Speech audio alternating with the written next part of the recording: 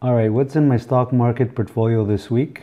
So, with the market having several losing days this week, it's all gonna be red. So, first of all, I've got some Alibaba shares that I bought at 164, closing this week at 142, giving me a 12% loss on Alibaba. Doesn't pay any dividends, but it's got good potential capital gain whenever it decides to recover. I got Bank of Nova Scotia that I bought at 71.8 it actually broke the 70s yes this week. But it's a great bank stock paying four and a half percent dividends right now and i'm down to two and a half percent on that one. If it actually goes maybe if it actually reaches 65 or something i could i will try to buy more of this stock for sure. Just a matter of having available cash. Got some dividend 15 split corp 2 that i bought some this week at $4 and I already had some at 6.69. So the average, the new average price is 4.5. So that's great. Definitely averaged down my 6.69 that I had, but I'm still down 16% or almost 17% on that stock because it closed the week at 3.74. I also got some dividend 15 split corp that I bought at 7 7.99 closed at 8.53 so i'm up six and a half percent on that one. I was actually up 16 percent last week. I could have sold and made 16 percent in three days but i wanted to sell it at ten dollars and make about 25 percent. So now i'm so now i'm down to six percent instead. But it's a stock that pays dividends every month 10 cents per share. So at least while i'm waiting i'll be collecting something and I'm confident that it's going to reach 10 when the market recovers. As soon as the market recovers, it's going to reach $10 because it's been trading at $10 forever. And then I'll, I'll, I'll, probably sell. And if it doesn't, well, I'll just keep collecting dividends. Right now, with this, with the purchase price, I'd be collecting, I'd be collecting around 15% dividends per year. I've got beautiful Ford here that I bought at $10, closed, closed this week at 8.98, so almost nine. It actually reached it actually reached 8.7 8.07 this week so it was really really bad. I'm down 10% on the option side that I, the ones that i bought at $1.50 closed at 75 cents so i'm actually down 50% on that one.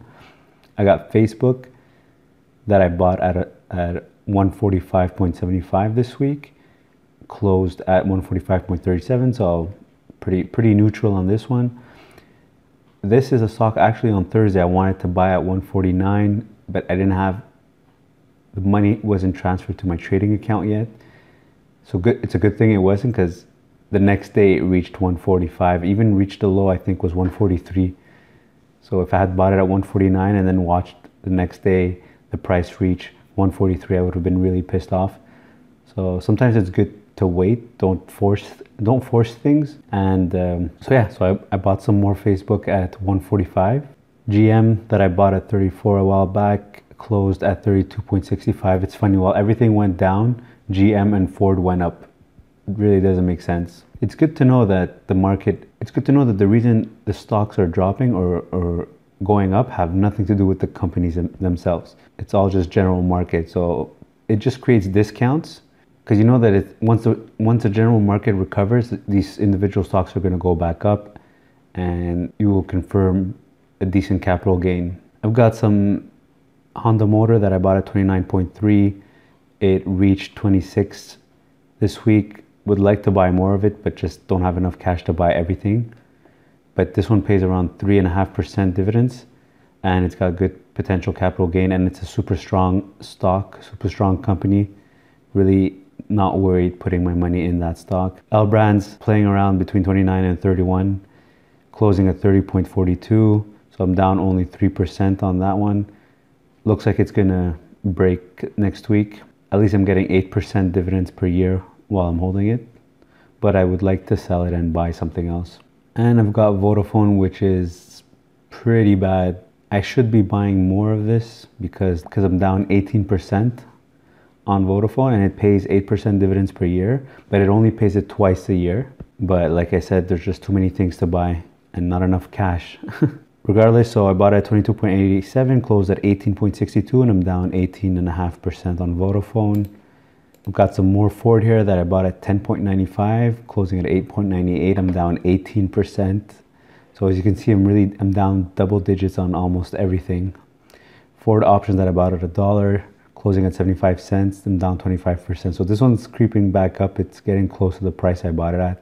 As soon as it reaches the price that I bought it at, I'm probably gonna get out because I have like 14 months for this stock to reach 11.87 or sorry 10.87 and I, I don't like that stress I've got Facebook here that I bought initially at 168 closing at 145.37 I'm down 13% on that one and I've got AT&T that dropped hard this week because of earnings.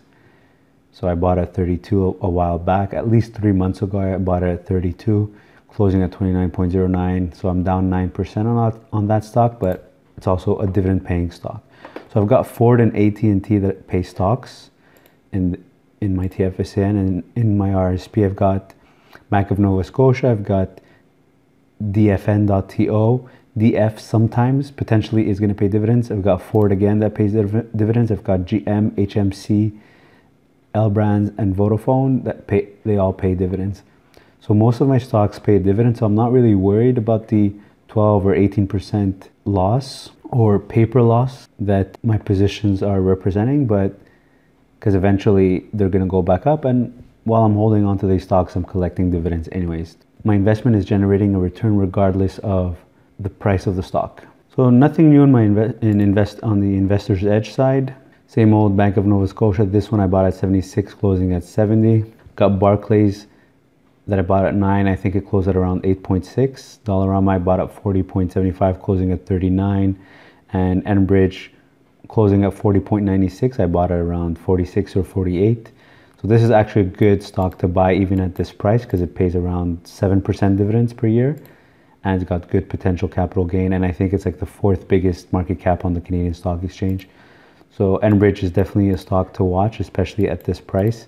I don't know why it doesn't want to break. I think it went all the way up to 47 or even 48, but then it dropped back down to 40. But definitely a good stock for those who haven't bought Enbridge. Definitely a good stock to watch. On the TFSA side, I've got Cenovus Energy pretty bad. This is a really bad trade. I bought at 15, closing at 11, and I bought this over a year. Probably going to be hitting two years soon. I've got some DFN, DF.TO that I bought at 5.17 so I don't think I'm going to buy any more of this stock because I've put enough in it. But once at 6.69, once at 5.17, and another time at 4. And plus, it doesn't pay dividends yet, or at least it's not consistent in paying the dividends. But once it does, I'm going to be getting a very good yield. So Enbridge also, once again, closing at 40.96, bought it at an average price of 46 in, in this account. Hudson Hudson's Bay bought it at 13 closing at 8.72. Don't even terrible, terrible decision. G, GE General Electric also very bad choice. I bought it at 17, closing at 11.3, but they're announcing earnings next week, so there should be some movement, and most likely it's going to be positive movement.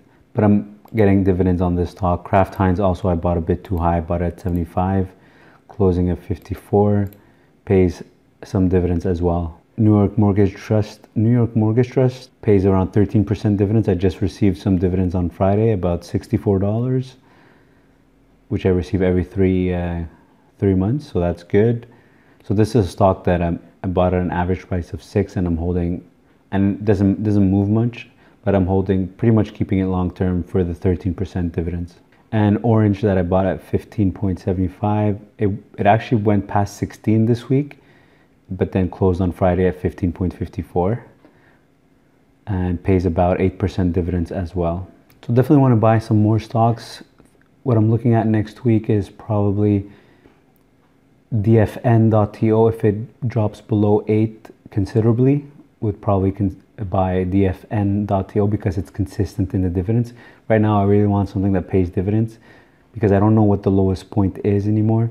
I sort of want to protect myself against buying a stock that continues to drop because I won't be it'll be it'll be considered dead money because I'll have to wait very long for the for the stock to recover in order to make a capital gain. For example, on Facebook or or Alibaba, so these stocks don't pay dividends, so I have to wait until they recover.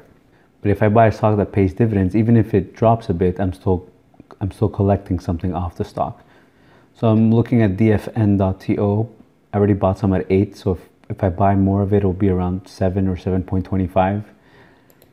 Uh, looking at looking at Pizza Pizza Royalty, pays 10 per, almost 10% dividends as well, trading at a 52 week low, even trading at an 8 year low.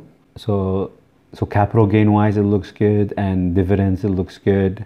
Don't know why it's dropping though, but definitely confident that it's not a stock it's not a stock that's going to disappear or go bankrupt the next day. Also watching the bank stocks, Bank of Nova Scotia if it reaches 65, I would buy some more of. So I'll keep you posted next week on what I'll buy. If you have any questions, leave in the comments below. Any video ideas also leave them in the comments below.